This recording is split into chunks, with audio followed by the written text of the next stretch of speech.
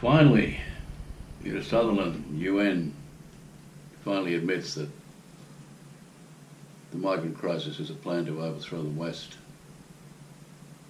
Not just America, not just the UK, but Australia and every other free country. Here's the clip. Headed.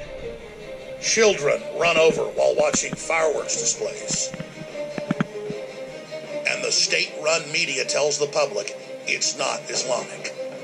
For more than a thousand years, Europe has battled Islamic invasions. But in the 21st century, Europe and the rest of the Western world faces a new type of war.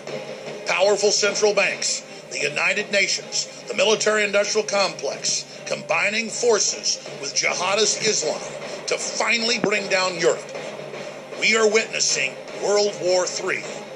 It doesn't look like past wars. It's a stealth war conducted by traitors from within.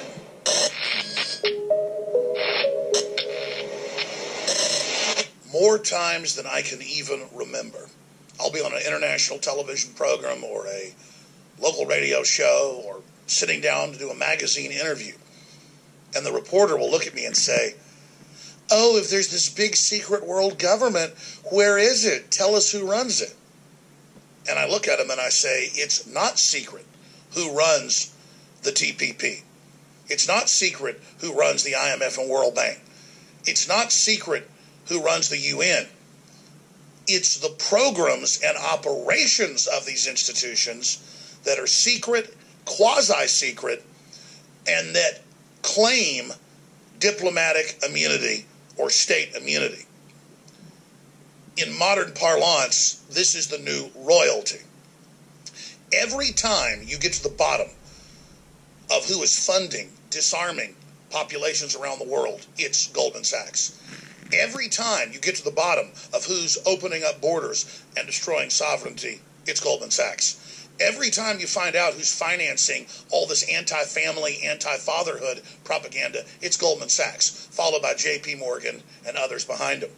And so it's not any surprise that the head of the UN migrant program, who was the founder of the European Union, but now who runs the immigration, the invasion of third world populations, it wasn't any surprise that Peter Sutherland the chairman of Goldman Sachs globally, openly said that he wants to use third world populations to undermine national homogeneity. And it doesn't stop there with Goldman Sachs. They have been installing their former vice presidents and directors as the presidents and prime ministers of places like Greece and Italy. And they call it technocracy, not dictatorship. Goldman Sachs is literally the devil. It is the top of the pyramid. It is the scourge. It's like the Nazis we fought in World War II.